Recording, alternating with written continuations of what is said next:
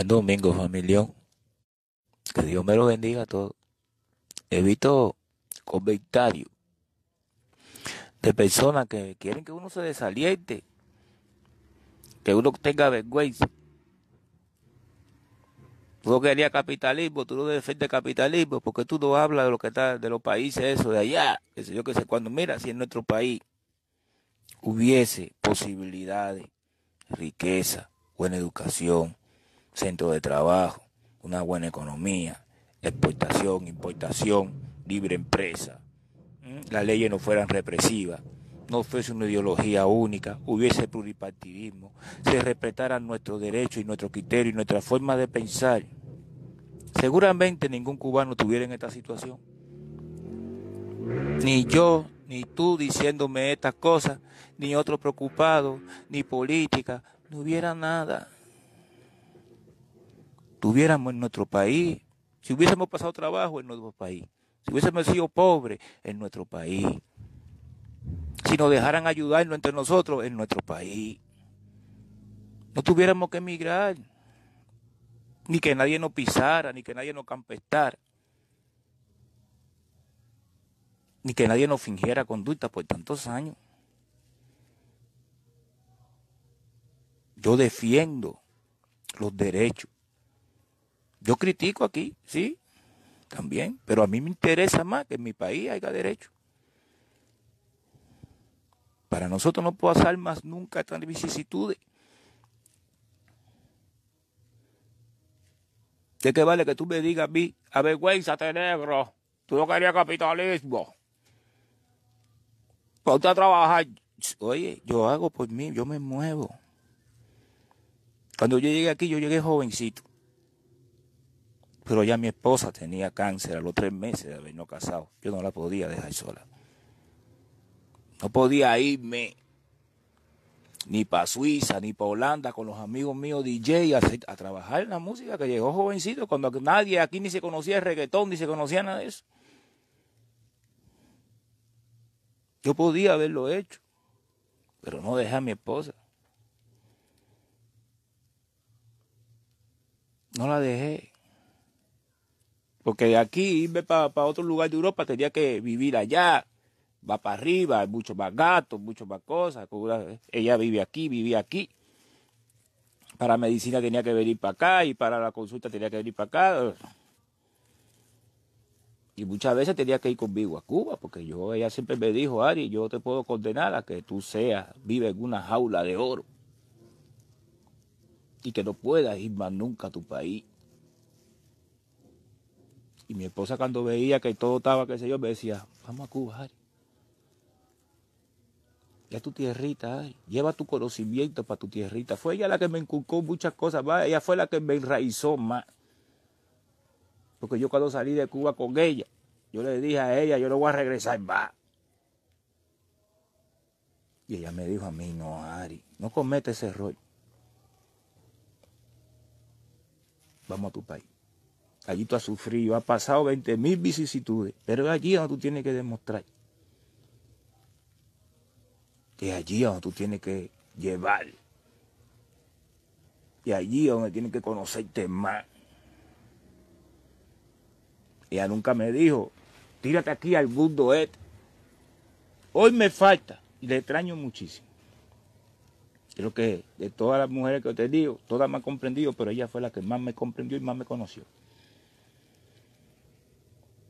Porque supo comprender la esencia de la persona.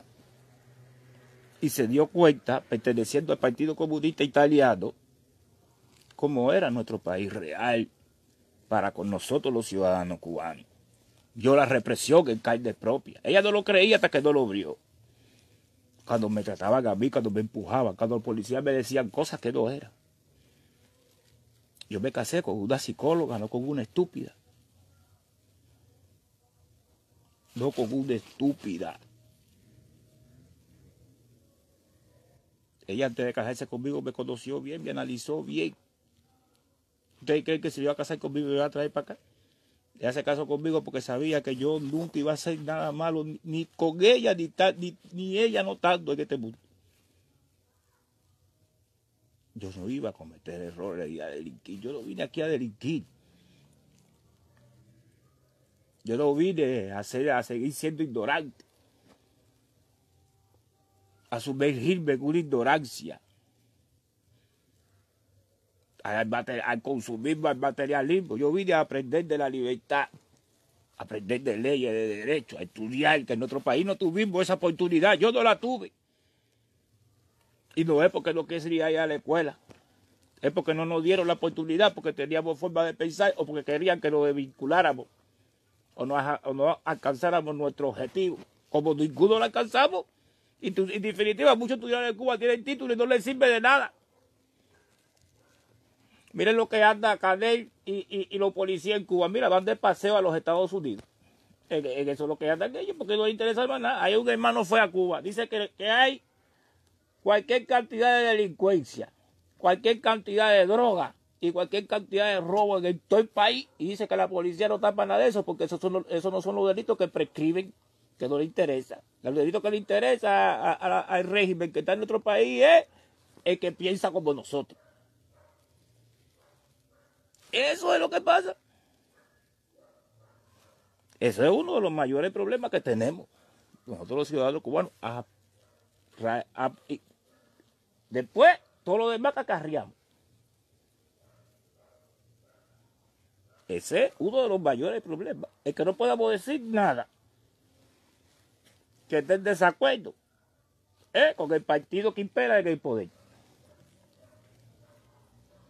Nosotros estamos condenados a estar así. Nos llevamos 64 años ¿eh? viviendo miseria y de migración y de muerte.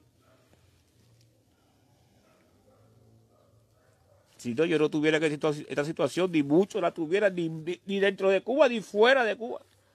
Porque yo sé que yo no soy el único cubano que está atravesando situaciones. Eso yo lo sé. Yo no soy ignorante, ni soy ciego. Yo vivo la, en la verdad, yo vivo en esta vida, yo sé lo que pasa en la persona. Pero no me tiren bomba. Porque yo solo no soy el que estoy en la, situación. Hay muchos que me están criticando que están peor. Hay, hermanos que están en Cuba que me dicen, coño, Ari, nosotros estamos peor que tú, pero tú mereces ayuda. A esos hermanos yo les mando muchas bendiciones porque son conscientes. Ustedes también necesitan mucha ayuda. A mí me llamó una hermanita ayer que está operada. ¿En qué te puede ayudar, mi negro? Y le dije, ay, mira, pues tú estás recién operada, mi hermanita. Ya me estás apoyando. Porque todo es, ya la persona te llama y te mandan un mensaje. Y así tú no puedas, mi hermano, un mensaje a mí me sirve igual. Porque me está dando apoyo. Una bendición tuya es un apoyo. Todo es un apoyo, todo un abrazo, todo, todo. Ustedes pueden confiar ciegamente en, el canal Cuba Libre, en un universo increíble. Ese canal también sin miedo, no hay estafa, no hay nada. Son personas, son personas que yo confío en Juan Juan, son personas que yo confío, en ustedes yo confío. Hasta que en lo que no confían en mí, yo confío. Porque yo no miro tu lado malo. Yo sé que dentro de tu lado malo, yo sé que hay un lado bueno. Y ese que yo quiero sacarte, cubano. Ese. Lo que tú me digas a mí, porque en definitiva necesidad hemos tenido todo. Y esto no es porque tú no quieres trabajar, es porque tú no quieres hacer nada. Es que aquí, si tú no tienes un lugar estable, tú no puedes hacer nada. Así tengas los documentos legales el papel que diga que tú estás aquí en estado, eh, pero bueno, aquí no es como en Cuba que nosotros llegamos, rompemos una puerta, está en la casa de mi mamá y papá, aquí no podemos hacer eso.